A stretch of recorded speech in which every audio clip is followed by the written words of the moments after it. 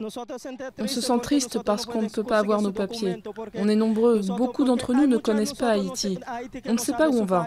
À partir de demain, ils vont renvoyer tous les Haïtiens d'ici.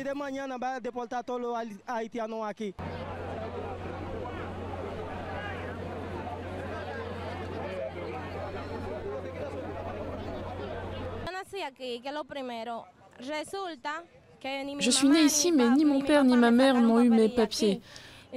Donc ce dont j'ai besoin, c'est quelque chose qui garantisse que je peux rester ici et que je ne vais pas être envoyée dans un pays que je ne connais pas.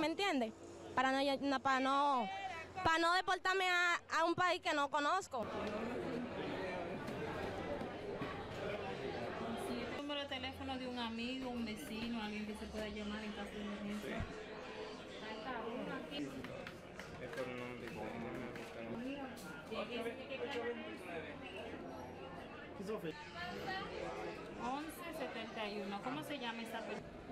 Papá, te cayó la mano.